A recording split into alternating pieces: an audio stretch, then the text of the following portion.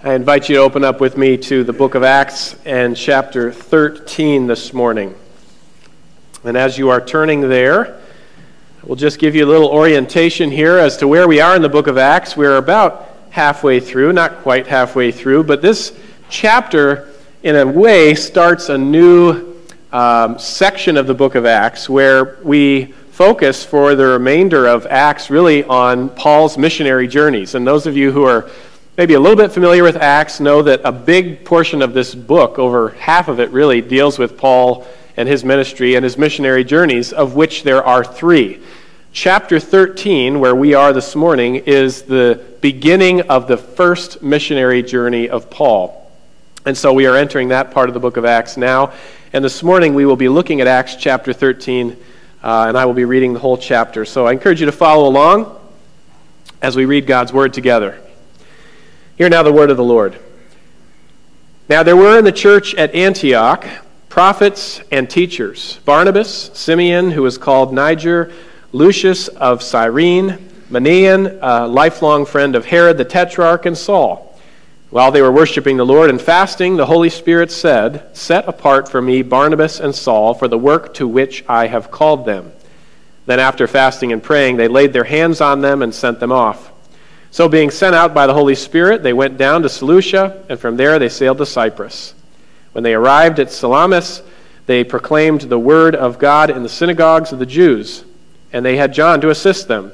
When they had gone through the whole island as far as Paphos, they came upon a certain magician, a Jewish false prophet named Bar Jesus. He was with the proconsul Sergius Paulus, a man of intelligence, who summoned Barnabas and Saul and sought to hear the word of God. But Elymas, the magician, for that is the meaning of his name, opposed them, seeking to turn the proconsul away from the faith. But Saul, who was also called Paul, filled with the Holy Spirit, looked intently at him and said, You son of the devil, you enemy of all righteousness, full of all deceit and villainy, will you not stop making crooked the straight paths of the Lord? And now, behold, the hand of the Lord is upon you, and you will be blind and unable to see the sun for a time. Immediately, mist and darkness fell upon him, and he went about seeking people to lead him by the hand. Then the proconsul believed when he saw what had occurred, for he was astonished at the teaching of the Lord. Now, Paul and his companions set sail from Paphos and came to Perga in Pamphylia, and John left them and returned to Jerusalem. But they went on from Perga and came to Antioch in Pisidia. And on the Sabbath day they went into the synagogue and sat down. After reading from the law and the prophets, the rulers of the synagogue sent a message to them, saying, Brothers, if you have any word of encouragement for the people, say it. So Paul stood up and, motioning with his hand, said, Men of Israel, and you who fear God, listen. The God of this people, Israel, chose our fathers and made the people great during their stay in the land of Egypt, and with uplifted arm he led them out of it. And for about forty years he put up with them in the wilderness. And after destroying seven nations in the land of Canaan, he gave them their land as an inheritance. All this took about 450 years. And after that, he gave them judges until Samuel the prophet. Then they asked for a king, and God gave them Saul, the son of Kish, a man of the tribe of Benjamin, for 40 years. And when he had removed him, he raised up David to be their king, of whom he testified and said, I have found in David, the son of Jesse, a man after my own heart, who will do all my will. Of this man's offspring, God has brought to Israel a Savior, Jesus, as he promised. Before his coming, John had proclaimed a baptism of repentance to all the people of Israel. And as John was finishing his course, he said, What do you suppose that I am? I am not he. No, but behold, after me one is coming, the sandals of whose feet I am not worthy to untie. Brothers, sons of the family of Abraham, and those among you who fear God, to us has been sent the message of this salvation. For those who live in Jerusalem and their rulers, because they did not recognize him nor understand the utterances of the prophets, which are read every Sabbath, fulfilled them by condemning him. And though they found in him no guilt worthy of death, they asked Pilate to have him executed. And when they had carried out all that was written of him, they took him down from the tree and laid him in a tomb. But God raised him from the dead, and for many days he appeared to those who had come up with him from Galilee to Jerusalem, who are now his witnesses to the people. And we bring you the good news that what God has promised to the fathers, this he has fulfilled to us, their children, by raising Jesus as also it is written in the second psalm You are my son, today I have begotten you. And as for the fact that he raised him from the dead, no more to return to corruption, he has spoken in this way I will give you the holy and sure blessings of David. Therefore, he says also in another psalm, You will not let your Holy One see corruption. For David, after he had served the purpose of God in his own generation, fell asleep and was laid with his fathers and saw corruption. But he whom God raised up did not see corruption. Let it be known to you, therefore, brothers, that through this man forgiveness of sins is proclaimed to you, and by him everyone who believes is freed from everything from which you could not be freed by the law of Moses. Beware, therefore, lest what is said in the prophets should come about. Look, you scoffers, be astounded and perish, for I am doing a work in your days, a work that you will not believe, even if one tells it to you. As they went out, the people begged that these things might be told them the next Sabbath. And after the meeting of the synagogue broke up, many Jews and devout converts to Ju- Judaism followed Paul and Barnabas, who, as they spoke with them, urged them to continue in the grace of God. The next Sabbath, almost the whole city gathered to hear the word of the Lord. But when the Jews saw the crowds, they were filled with jealousy and began to contradict what Paul, what was spoken by Paul, reviling him. And Paul and Barnabas spoke out boldly, saying, It was necessary that the word of God be spoken first to you, since you thrust it aside and judge yourselves unworthy of eternal life. Behold, we are turning to the Gentiles. For so the Lord has commanded us, saying, I have made you a light for the Gentiles, that you may bring salvation to the ends of the earth. And when the Gentiles heard this, they began rejoicing and glorifying the word of the Lord, and as many as were appointed to eternal life believed. And the word of the Lord was spreading throughout the whole region, but the Jews incited the devout women of high standing and the leading men of the city, stirred up persecution against Paul and Barnabas, and drove them out of their district. But they shook off the dust from their feet against them and went to Iconium, and the disciples were filled with joy and with the Holy Spirit. Let's pray together. Heavenly Father, we thank you for your servants, for Paul, for Barnabas, for Mark, and for many others, Lord, who gave their testimony and testified to you and to the truth of the gospel in their day. And Lord, we are reminded as we read these words that we are part of that same church. The same church that they were a part of, we also are a part of, Lord. The same calling which you gave to them, you gave to us. And so, as we read about these men and about their testimony and their ministry, we ask, Lord, that you would use this to teach us, to transform us, to make us more faithful as your disciples, your ambassadors, your witnesses. Lord, give us ears to hear this morning, we pray. And we pray it all in Jesus' name. Amen. One of the ways that theologians have described the church throughout the centuries is to say that if you are part of the body of Christ, you are part of one of two groups of people. You are either part of the church triumphant or you are part of the church militant. Now, you may not have heard those terms before, and it's not two different churches we're talking about. It's one church, but two groups. What do those mean? Well, the church triumphant is that group of Christians who have gone on to be with the Lord and are in heaven. And we call them triumphant because we understand that they have fought the good fight, they have finished the race, they have entered into their heavenly rest, as Paul says, and therefore they are triumphant in being inheriting eternal, eternal life. On the other hand, there's the church militant, which is that group of Christians who are still alive here on earth. And you might think, boy, that's a strange way to describe the church on earth as the church militant. We typically don't think of the church as a militant organization. Uh, far from it. We often think of the church as a very uh, peaceful organization and committed to love, being our neighbor, and all of those things. Why would it be called the church militant? Well, it's called the church militant because we recognize that Christians on earth are engaged in a battle.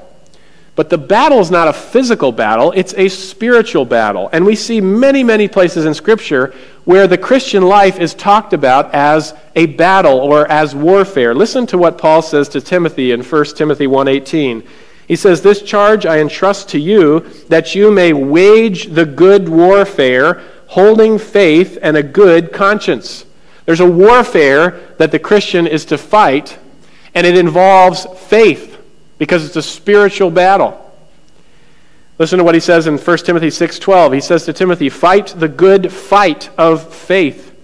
Take hold of the eternal life to which you are called and about which you made the good confession in the presence of many witnesses. There, according to Paul, there's a war to be fought. There, there's a fight to be fought. And there's a battle that Christians are in the midst of. But again, it's not a physical battle, it's a spiritual battle. And this is why Christians on earth have traditionally been called the church militant, because they're still in the midst of that spiritual battle every day. That's a spiritual battle that doesn't just apply to the individual Christian. When you think of your individual struggles, and your individual spiritual battles that you face. There's that, but then there's the battle that the whole church faces as the church seeks to take the gospel into the world. Make no mistake that as the church does that, the church is not entering neutral territory. As the church takes the gospel into the world, the church is entering what we might call hostile territory. And we know, according to Scripture, that there are forces of evil and darkness that actively oppose Christ and anyone who would follow Christ. And therefore, those who are part of the church militant need to understand the reality of the spiritual battle that is at work and at play in this world. If you don't understand that, then you will not understand the world properly. You will not understand yourself properly. And you will be vulnerable to many, many things. You read through the book of Acts and you see the church taking the gospel out into the world. You can see patterns that emerge as this spiritual battle unfolds. And I want to mention five elements of this spiritual battle as it unfolds. And then we're going to look at how this unfolds in Acts chapter 13. But there's some patterns that emerge here, not just in chapter 13, but all over the place if you go through the book of Acts. Some elements of this spiritual battle that come up repeatedly. And the first one is the proclamation of the word. The spiritual battle begins when the word is taken out and proclaimed in the world. And as Christians do that, we recognize that that is the only way that the gospel can advance. If you read through the book of Acts, the, the, the ministry of the church, as the church multiplies and it grows, that always corresponds to the proclamation of the word, the proclamation of the gospel. In every single case. There's no expansion of the church. There is no growth of the church. There is no multiplication of Christians without the proclamation of the gospel and of the word, which is why this is so central to Christianity today. And it's worth noting that that proclamation from the beginning wasn't limited to just church leaders. Yeah, of course, you see pastors in the New Testament and missionaries and evangelists in the New Testament proclaiming the word. But you see a lot of just ordinary uh, church members and believers who proclaimed the word as they took the word to new places and to new people. They understood that to be a Christian was to be a witness for Jesus. They're one and the same, and they just go together.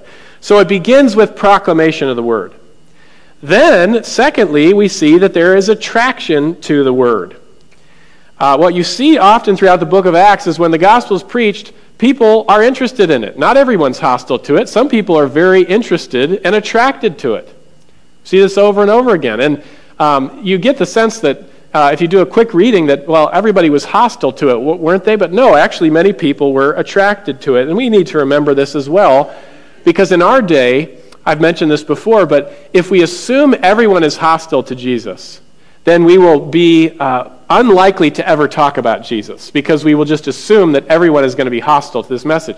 Truth is, not everybody's hostile to the truth about Jesus. There are a lot of people who are searching for answers, who are very spiritually hungry, and when they hear about Christianity or about Christ or about the gospel, they are very interested. So we need to remember that. But along with attraction to the word, then thirdly, you see also another pattern, which is opposition to the word. There's a every time that God's word is proclaimed, the gospel is is preached, there's division of those who are attracted to it, those who are opposed to it, repelled by it, some who even might want to attack it. And Jesus warned about this. In John 15, Jesus said, "If the world hates you, know that it has hated me before it hated you.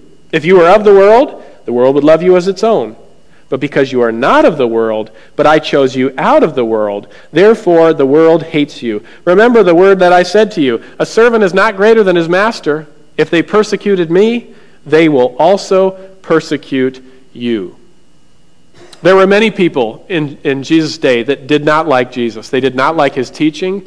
His teaching was very polarizing. Some people were attracted to it, many people opposed it. Jesus faced fierce opposition. This is one of the great misconceptions. People think, well, Jesus was a popular guy. Everybody loved Jesus. It's not true. Many people did not love Jesus. That's why he was eventually killed. And many people were seeking to kill him throughout his entire ministry. And Jesus said, Look, a servant's not greater than his master. If they if people responded with that kind of opposition to me, then what should a follower of Jesus expect today? Should it be a bed of roses?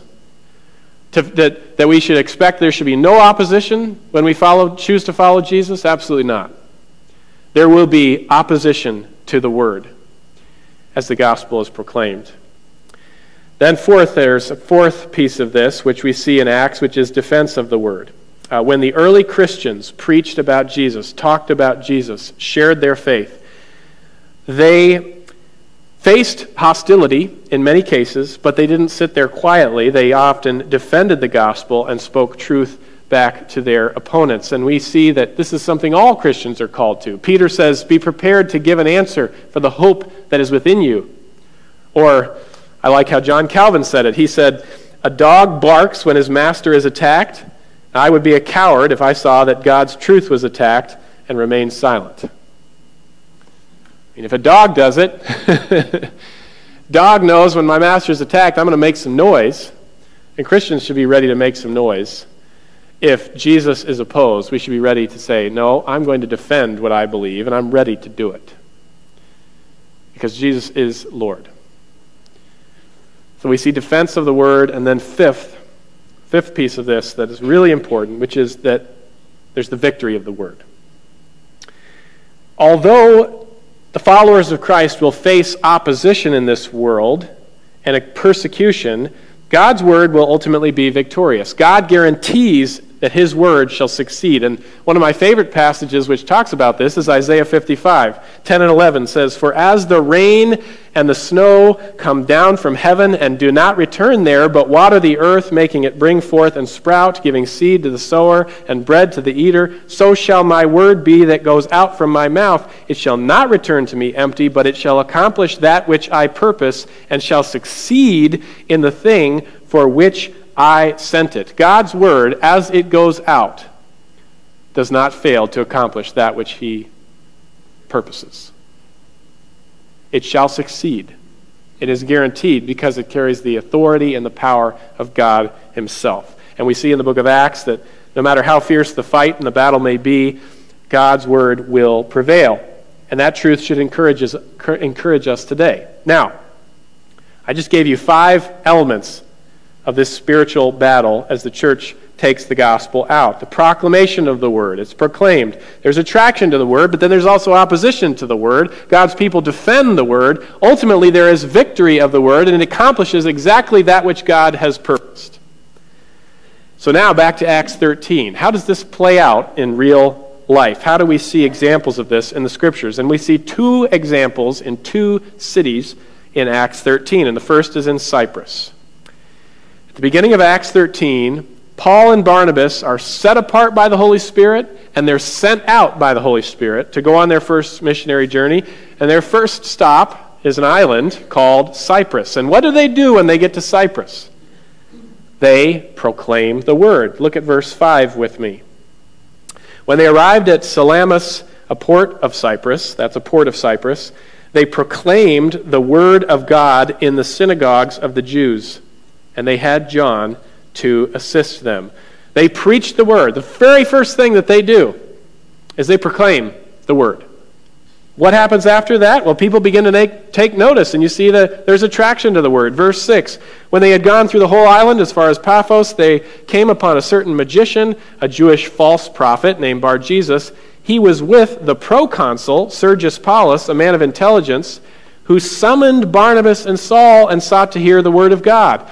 This man is basically a governor a, ve- a man of a very high position, and he is so interested in what he's hearing about from Paul and Barnabas wandering around and preaching. He says, Get these guys over here. I want to hear more about this. He's attracted to it, he's interested in it. So he asks to hear more. But as soon as he expresses interest in the word, there are others who want to oppose the word. We see opposition to the word. Verse 8 But Elymas the magician, which is the same person from verse 6, opposed them, seeking to turn the proconsul away from the faith. This is really interesting. This magician, this false prophet, apparently had some influence over this guy. And he didn't want to lose that influence, so as soon as he starts taking an interest in Christianity, what does he do? He tries to uh, dissuade him from wanting to consider Christianity. You see this all the time today, don't you? You know, I've talked to people who said, um, I grew up in a, a Christian home that where I, I, not, I grew up in a non-Christian home, a family we didn't, we didn't uh, believe in Christ. But I found Christ, and as soon as I did, uh, I had family members trying to convince me that what I was getting into was totally false. They tried to, to push me away from wanting to follow Jesus. As soon as I found Christ, I experienced opposition to Christ. That's exactly what's going on right here. As soon as the gospel is taking root, there is opposition to the gospel. But Paul's not ready to give up without a fight, and this is where we see defense of the word. Look at verse 9. Paul, Saul, who was also called Paul, filled with the Holy Spirit, looked intently at him and said, Get this, you son of the devil you enemy of all righteousness, full of all deceit and villainy, will you not stop making crooked the straight paths of the Lord? And now behold, the hand of the Lord is upon you, and you will be blind and unable to see the sun for a time. And immediately a mist and darkness fell upon him, and he went about seeking people to lead him by the hand. That's a really, really interesting encounter. Paul looks at this because you, you are making crooked the straight paths of the Lord. The straight truth of God is being pronounced and is right in front of you. And what you're doing is you're taking that truth and you are twisting it to make it as if it's not really true or it's not really what it clearly is. And he says to, he says to him, he calls him, you son of the devil. Now, that seems like Paul's just getting excited and throwing, lobbing out insults all of a sudden, right? Uh, but I don't think that's actually what's going on here. I don't think he was just trying to think, well, what's the worst insult I can come up with and call this guy a name. The reason why he says son of the devil here is because Paul recognizes that behind every form of opposition to the gospel is ultimately the work of Satan. Satan wants to lead people away from Christ, wants to lead people into false teaching, wants to make people buy into lies of all sorts and forms. This is what Satan wants to do and is actively at work in the Lord. And Paul recognizes this. Jesus warned about this. In John 8 44, he said, The devil has nothing to do with the truth because there is no truth in him. When he lies, he speaks out of his own character, for he is a liar and the father of lies. And I know there are many people in the world today who think it's strange to talk about the work of Satan or the devil in the world. But um, Jesus talked all the time about the reality of Satan, about the devil, and about how he exists, and about how he influences this world, about how he is at work in this world, and is constantly wanting to influence people in ways that are counter to God's will for their lives. As Christians, we need to understand that we are living in a spiritual battle and it's a war against Satan. And until we understand that, we will never properly understand our lives and the world around us. We just won't. You know, I heard it said once that we need to live life with a wartime mentality. A wartime mentality is the mentality that people live with when they're, when they're living in the midst of war. And there have been times and eras in this country when we've been going through wars, and people during those eras, they lived with a different mentality than they did at peacetime. We need to live life with a wartime mentality. Our war is not a physical war, but it's a, it's a war with Satan. And if we don't have that mentality, we're not going to live in the correct way. We're just not. Now, you don't have to take my word for it. Listen to what Paul said in Ephesians chapter 6. He gave these famous instructions. He said in Ephesians 6:11, "Put on the whole armor of God." Now, why would he say to instruct someone to put armor on? The only reason, the only reason that you put on armor is if you're going into a battle or to a Renaissance fair. No, I'm just kidding. Take the Renaissance fair off the table for a minute. The only reason that you put on armor is if you're going into the midst of a fight. In other words, the point of Ephesians 6 is he's saying this is a war. And you need a wartime mentality. So put on the whole armor of God that you may be able to stand against what? The schemes of the devil. He understands what the nature of the battle is. For we do not wrestle against flesh and blood, but against the rulers, against the authorities, against the cosmic powers, over this present darkness, against the spiritual forces of evil in the heavenly places. Therefore, he says it again, take up the whole armor of God that you may be able to withstand in the evil day, and having done all, to stand firm. There's a spiritual battle going on in the world today. And ultimately, we need to live life with that kind of wartime like mentality. If we live life with a peacetime mentality, which many Christians do, then we will not follow these instructions. We will not understand the world around us. We will ultimately live our lives as people who are vulnerable to attacks from Satan. Um, and ultimately, I think Satan is probably pretty happy when people live life with a peacetime mentality. Because if you live life with a peacetime mentality, then you don't suit up and you're not ready to, to fight the battle. And what does Satan probably want the most? He wants people, Christians, who are um, complacent, who are apathetic, and who aren't interested in, in fighting any battle. If he can get people to just sit back on the couch and not fight, then Satan doesn't even have to work that hard to oppose the he, he what he really really needs to oppose the people get involved in the battle. But the point is here is that there's a spiritual battle going on, and Paul knew that, which is why he confronted this person in the way in which he did. Now, what do we see at the end of the episode? Well, there is a victory of the word here, because verse 12 says, The proconsul believed when he saw what had occurred, for he was astonished at the teaching of the Lord. So, even in the midst of opposition, there's victory. Let's look at the second place now where Paul and Barnabas visit. This is Antioch in Pisidia. This is a different Antioch than the Antioch that they started in. And when they come to this Antioch, once again, they begin by proclaiming the word. They go into the Sabbath, they go into the synagogue on the Sabbath day. They're invited to give an exhortation to the people. Paul gives a sermon in verses 17 through 41. That's a pretty long sermon, and I don't have time to dissect that in, in to little pieces here. But let me just give you a few highlights of some of the main points that he wants to really drive home to the people in the synagogue. First of all, he proclaims to them that Jesus is the Messiah. He proclaims the Messiahship of Jesus. Verse 23 says, Of this man's, that is David's offspring, God has brought to Israel a Savior, Jesus, as he has promised. In other words, Paul's saying, Look, you are Jews and you are waiting for a Messiah, and I will tell you who the Messiah is. The Messiah has come, and the Messiah is Jesus. He is already here. What else does he tell them? He doesn't just say that Jesus is the Messiah, but he proclaims the resurrection of Jesus. Verse 32 And we bring you the good news that what God promised to the fathers, this he has fulfilled to us, their children, by raising Jesus. In other words, Jesus has risen from the dead, and that's the fulfillment of all the Old Testament promises. So he proclaims that Jesus is the Messiah, he proclaims the resurrection of Jesus, and he also proclaims forgiveness in Jesus. Verse 38 Let it be known to you, therefore, brothers, that through this man's through this man, forgiveness of sins is proclaimed to you, and by him everyone who believes is freed from everything from which you could not be freed by the law of Moses. In other words, the law of Moses cannot set you free from your sins, but there's one who can, and that's Jesus. Paul is proclaiming all of these core truths about Christ. And what happens next? Well, there's attraction to the word. Verse 42 as they went out, the people begged that these things might be told to them on the next Sabbath. They wanted more. Give us, give us another sermon. Tell us more about this next Sunday, we might say.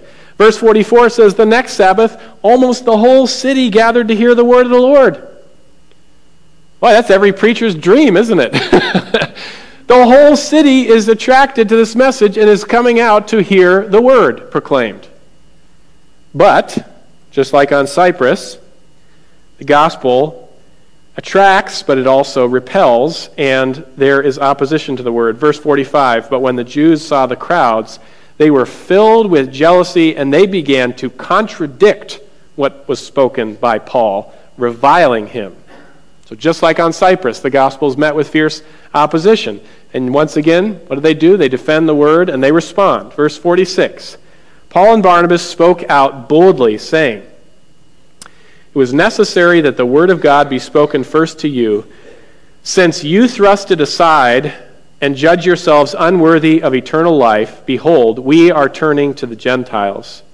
For so the Lord has commanded us, saying, I have made you a light for the Gentiles, that you may bring salvation to the ends of the earth. What Paul's saying to them here is, is basically look,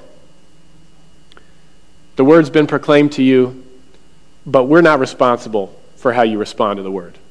Here's the gospel. You can take it or leave it. We're not responsible for how you respond. And since you are choosing not to respond to the gospel, but to reject the word that is being preached and to contradict what is clearly true according to God's word, then we will proclaim it elsewhere. But the response of the people has no bearing upon whether God's word is victorious in the end. It doesn't matter who might choose to reject God's word because God's word will be victorious in the end. And what do we see in this passage? We see God's word being victorious among those who did respond to it. Verse 48 says this When the Gentiles heard this, they began rejoicing and glorifying the word of the Lord, and as many as were appointed to eternal life believed. Acts 13:48 has given a lot of people trouble over the years. When the Gentiles heard this, they began rejoicing and glorifying the word of the Lord, when they heard what? the Gentiles heard this. When they heard what? They heard the gospel.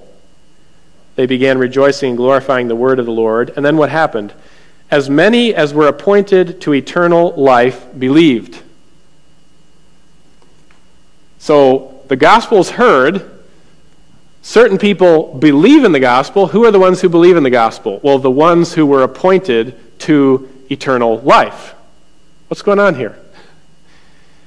What we see in this one verse, but actually this whole passage, is actually God's sovereignty and salvation side by side with man's responsibility to respond to the gospel. Both are side by side. Paul and Barnabas preach the gospel and have the responsibility to do that. The people have the responsibility to respond to the gospel, and some do respond, and the ones who do respond are those who have been appointed to eternal life. And it's God's sovereignty and salvation and what we call the doctrine of election and human responsibility side by side. Both truths are affirmed in the scriptures. It sounds somewhat paradoxical, but the New Testament sees no conflict between both of those things. Both of those are affirmed. And I say this because sometimes people struggle with this question. They say, well, Wait a minute, you're talking about taking the gospel out. If God has already appointed those who will believe, if He's already chosen those who will be saved, then what's the point in sharing the gospel? Hasn't He already taken care of it all? The answer to that is actually pretty simple. The reason is because you and I have no idea who is going to believe.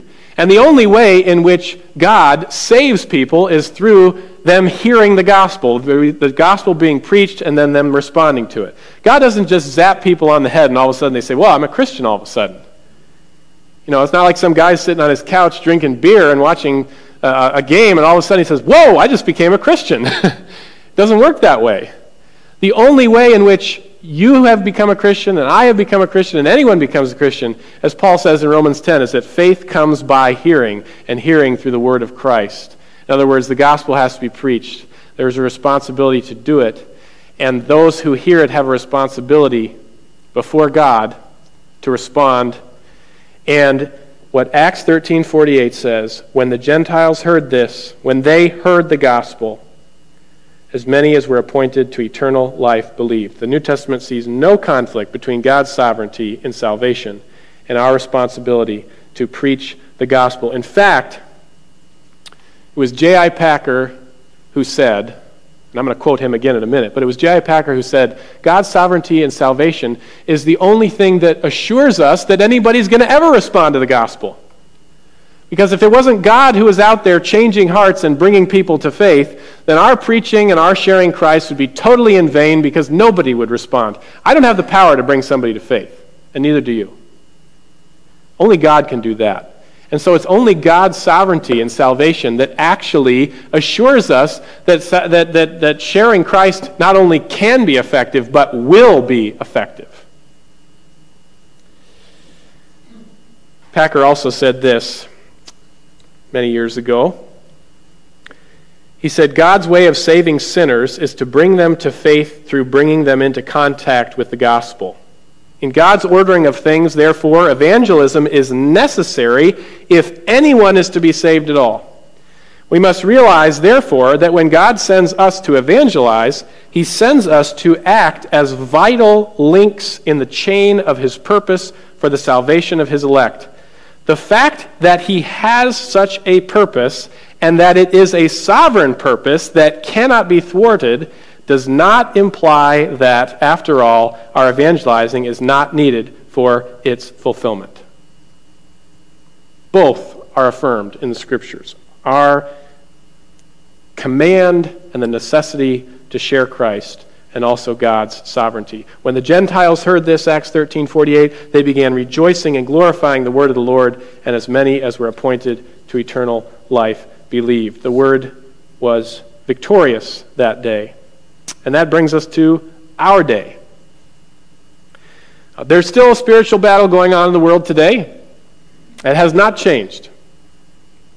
Question is, are we aware that that battle is taking place? And are we ready to take up the cause of Christ? There's no question that those who choose to follow Christ will encounter great difficulties, will encounter opposition, will encounter persecution. But those who choose to serve Christ and who choose to follow Christ are also assured of great victories. I want to close this morning with these words from R. Kent Hughes. He said, There is a cost to sincere service for Christ. Never share your faith, and you will never look like a fool. Never stand for righteousness, and you will never be rejected. Never walk out of a movie or a play because it's offensive, and you'll never be called a prig. Never practice consistent honesty in business, and you will not lose the trade of a not so honest associate.